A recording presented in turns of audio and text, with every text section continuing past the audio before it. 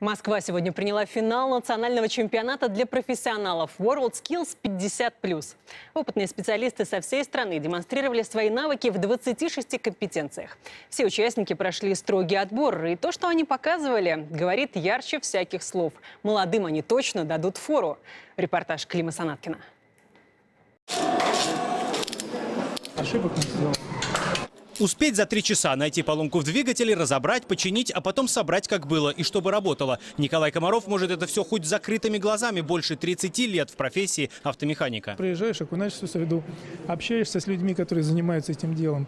Это огромный опыт. Строгое жюри судит по международным стандартам World Skills. Участник все практически успел сделать. Извините, у меня времени очень мало.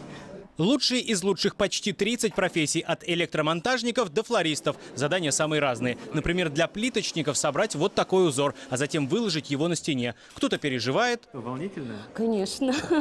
Еще немножко потрясывает даже, хоть уже времени прошло немало.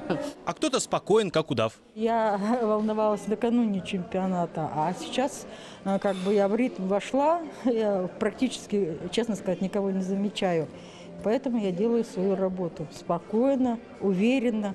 Она тоже уверенно вышла в финал. Галине Ерошиной 75. Три года назад решила изменить свою жизнь. Прошла обучение на графического дизайнера. Сложные компьютерные программы, теория, практика. Все оказалось по плечу. Новые программы, они все-таки ну, требуют большего, большей практики, больше навыков. Технические параметры для меня, ну, как бы приходится с ними повозиться. Ну, вам интересно?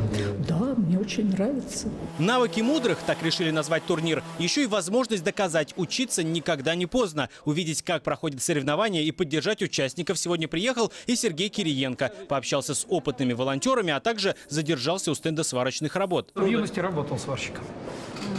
Но, но навыки утратил, не буду позориться.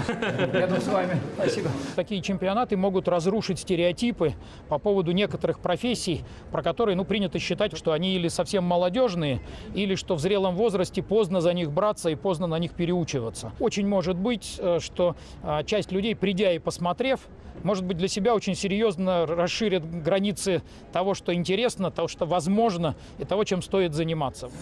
Одна из задач World Skills 50 еще и передать опыт молодому поколению, дать возможность понять, что работать руками нужно, а используя современные технологии, это в каком-то смысле еще и увлекательно. Но у меня как вообще получается? Уже лучше, но стоит еще поучиться. Мы будем тогда пробовать. А зачем мы все это делаем? Для того, чтобы все, э, э, кто молод, научились тому же самому, потом совершенствовались и работали дальше, стали лучше, сильнее, опытнее. Один! Закончили работать! 8 часов соревнований позади. Комиссия подводит итоги. Имена лучших назовут завтра. Победители продолжат соревнования уже на мировом турнире в Казани в следующем году. Клим Санаткин, Максим Катаев, Марьяна Соболева, Татьяна Ревенкова и Федор Юрасов. Первый канал. Москва.